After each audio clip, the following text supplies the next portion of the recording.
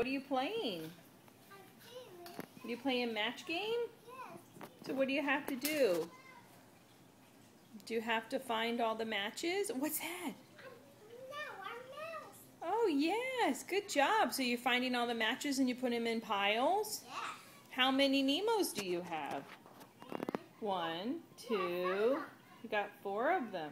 Puppy have five puppies. You have five puppies? No, that's not it. That's not it? What's that? Fishy! What's the next one?